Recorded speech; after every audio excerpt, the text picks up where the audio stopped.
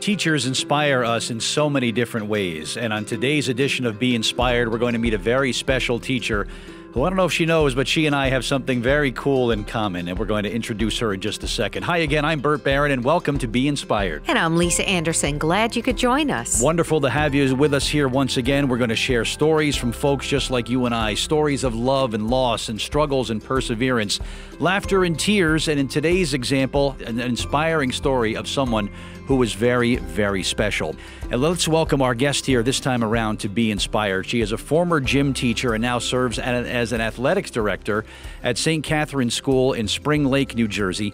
She has also collaborated and done some incredible work with a, uh, an organization uh, that is very near and dear to our hearts, Lisa, a little group that is called Miracle Express. Oh my gosh. Yes. Mir- no way. Really? Yes. Okay. I didn't know that. Yeah, she's here. Ellen Meixsell is here. And welcome, Ellen. Uh, great to have you on Be Inspired. It's great and to be here. wonderful to have you here. Thank uh, As an educator, boy, uh, so many lives that teachers, and I, I owe a lot of my success in my personal life and professional life to teachers who didn't give up on me. And I will always, always be grateful for what they meant to me. Uh, that connection that a teacher has, be it as an athletics person, uh, an educational person, that, that connection is really special, isn't it? It's very special and it's dear to my heart. I've always loved my job. I even as a young girl, I could tell you probably when I was seven, I, I knew I was going to be a health and phys ed teacher. Wow. So I was blessed by that and I just continued the road. I was very active in athletics, coaching, and uh, went on to college and uh, coached actually at St. Anthony's High School girls basketball team. Uh, back in the early 70s, and um, it was a great, awesome experience.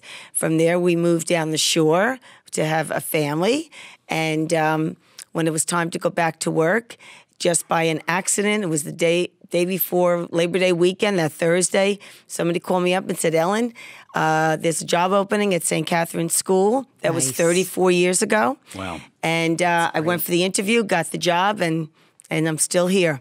And there you go. I- See how that lo- worked I've loved it. I love every minute of it. Now you were in Bayonne, right? Yes. Okay, so you're right over the Bayonne Oh. Bridge. I grew up in Elizabeth. Okay, So you're- right over. Yeah, very familiar with in that. my I was- neighborhood. I, went to uh, Newark State Ah, College at the time. Oh, all Yes, right. so Yeah, great delis there. Yes, it is great. Yeah, it sure is, and uh, it's funny when you say down the shore.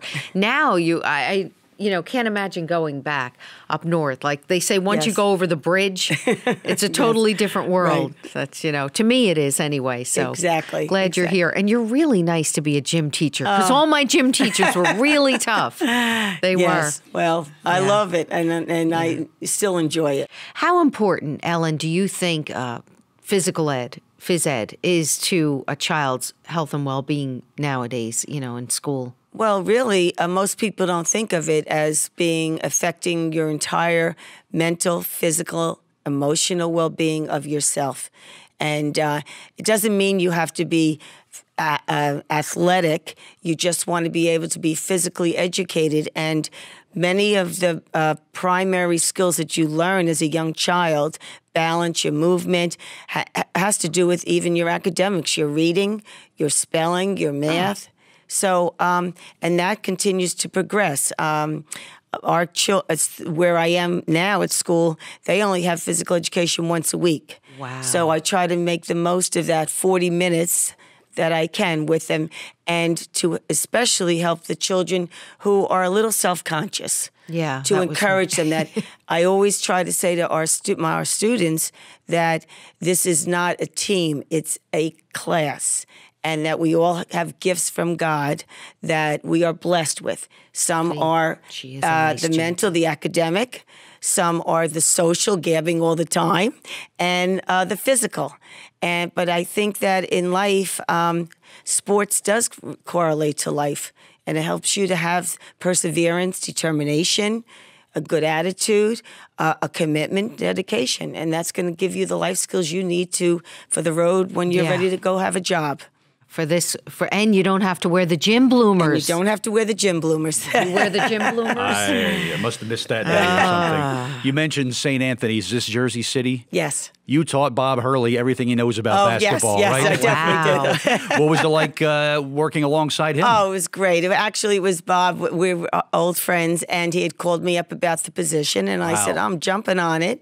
And uh, I never regretted that situation. And uh, he was a great coach, person, friend to, to be able to learn from.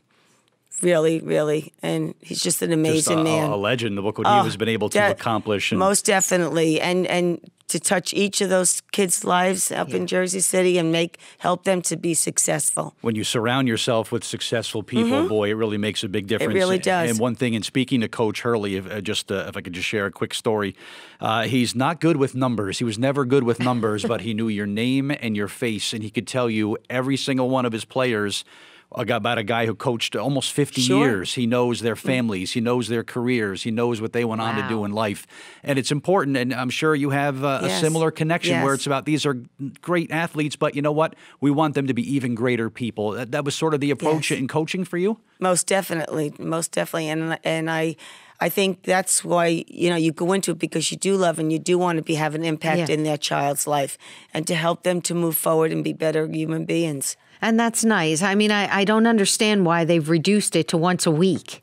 You know, Oh, well, uh, uh, in Catholic schools, you, don't have. Uh, I am one teacher. At one point, I uh, taught probably almost 700 students. wow. Yes, That's incredible. Where it's in a in a public school setting, it's a lot different. They have more physical education teachers. They're able to do that. the only thing I couldn't handle volleyball because I never got the ball. Well, that's you know, a big this sport short. right now. Our kids love it. Yeah, I've well, had- I've- being being five feet Yes, zero yes. inches, I never did get the ball. Need ball. the mini trampoline to do the to do a spike, right? I would love yeah, to see that. me too. We'll talk more with Ellen Meixsell coming up, including an incredible collaboration that she spearheaded at her school to assist Miracle Express in their very important mission.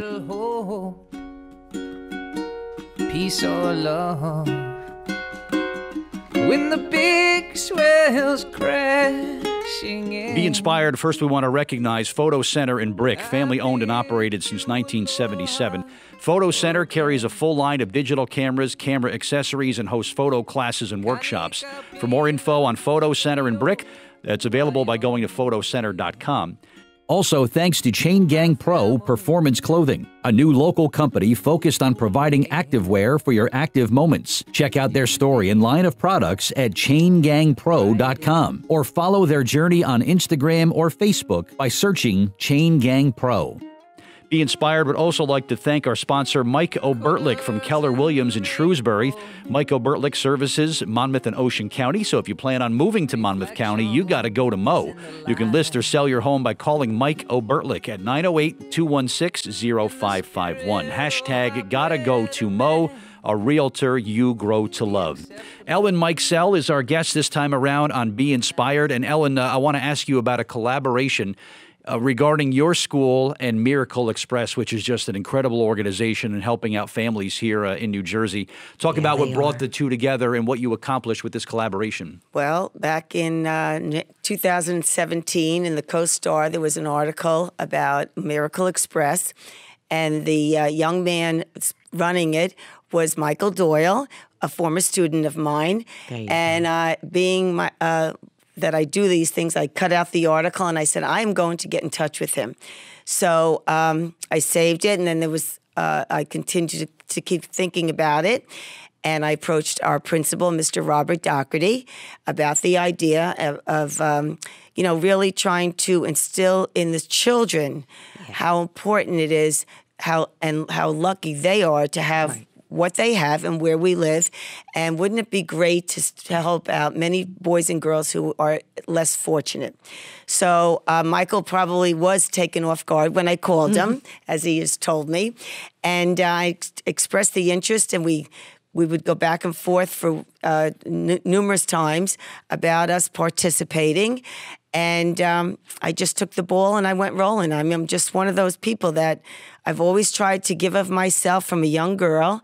Um, I feel that time is the most precious gift you can give to anyone, and um, to also be able to instill that uh, love of being able to help anyone else that you might encounter in life and to have especially young children at christmas time to know that they would have this smile on their face when they woke up in the morning and see all these presents um, i just really wanted to do something like that That's a beautiful way to look at life. And I also find, Ellen, that when you ask children to help other children or teens, they jump at the chance. They really do. If they're giving, if they are given uh, something to do, like a, a particular thing Yes. to do, they just they want to help, and and it makes them feel they get all excited. they, and they they, get they were really and, and how, involved. how I how Yeah. I incorporated that using the children children was I uh, used the eighth grade.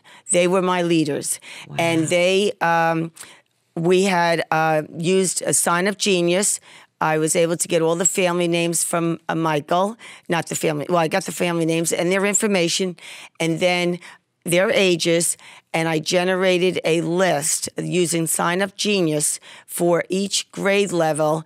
And I, I matched up families and the children, and they each brought in a gift.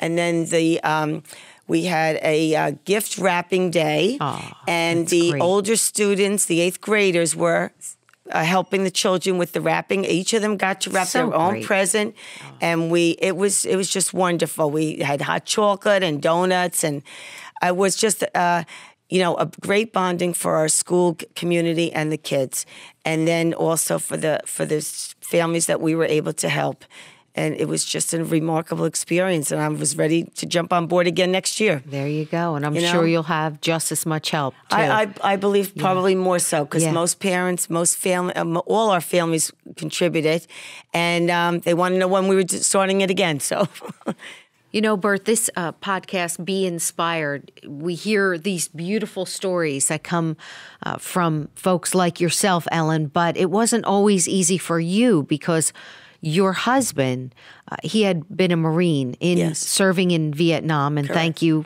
thank him for his service. However, as a result of that, you feel he's had a lot of health issues. You mentioned something about Agent Orange Yes. and such. So how is he doing now? And I know it's it's been a really rough road. So for to hear your Yes. story, you think, oh well, she's got you know this nice life where she helps out. It hasn't been easy. no, it's been you know when he was diagnosed, it was obviously uh, very hard on the family just to hear that because you don't know what the future is going to be or when it would you know kind of end. Uh, what the treatments were going to be, but uh, thank goodness um, he has been pretty stable and and he Good. works hard and you know. Uh, but yes, I think for the family at first, um, He was diagnosed with leukemia yes, chronic lymphocytic leukemia, along with skin cancer. skin cancer, and thyroid, cancer. thyroid so it's been a rough road. Yes, Yeah, so- and he's still busy He's still and busy. active, yes, and he's God very bless active him. In Yeah. town, etc. Yes, he's on some committees and he's very active. It's wonderful. He just, you know, he, he takes each day and, and has a very positive attitude. You know, I think that's what you. The only thing you can do is is you know have that positive attitude and that will to live Yeah. and and just take each day like you said as yes, a gift. we're very yeah, we're very grateful and and um, we have wonderful children and grandchildren. So That's great. it's wonderful. Well, the common thread, Lisa, I'm sure you'll agree, amongst all of these series of shows that we've done with Be Inspired is we've meet we've met people from so many different walks of life, and that common thing is we all have downs, we all have Yeah. bumps in the road, and we all have setbacks. But just to see the way that remarkable people, much like Ellen, was with us here today, can rebound and move on and make positive differences in the lives of so many other people is really truly inspiring to me. So, uh, as we wrap up, Ellen, really thank you for everything uh, as an educator and a teacher. Uh, I came through the, through the New Jersey public school system, and uh, I did okay, I think. so, uh, I'm a member of the Broadcasters Hall of Fame, and you yourself uh, are Yeah. enshrined in a Hall of Fame. You want to Yes. briefly talk about that? Yes, well, uh, I played in the early 60s, 70s, and um, Hudson County has a, a Hall of Fame. And I received a phone call last summer saying that I was nominated into the Hudson County Hall of Fame for my basketball. So I was really, thank you, uh, really excited, thrilled, and uh, honored to be in one of the recipients. Um, there was probably about 18 of this year, but only uh, maybe five women. Wow. So it Wow. was truly Incredible. an honor. Wonderful. What about me? I'm between two Hall of Famers here. I got to step up my game. Hudson Yeah. County, you and some No, guy, know. Frank somebody or other, right? He was a singer or something. but- Oh yeah, Yes. that guy. Remarkable work, Ellen, and really thank you for Thank you. everything Uh, that you've meant, and you've you've had such a great impact on so many people. So thank you for that, and Thank thank you. you. for joining And us it's here my today. pleasure to be here this evening to speak with you. Thanks Thank for you sharing your story. Thank you very much. I'm Bert Baron, And I'm Lisa Anderson. and thank you for watching. Be inspired.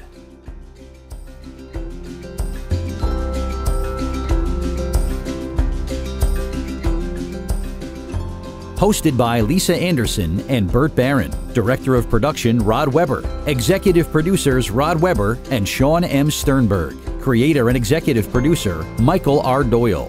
Also thanks to Chain Gang Pro Performance Clothing, Michael O'Bertlick from Keller Williams, and the Photo Center in Brick.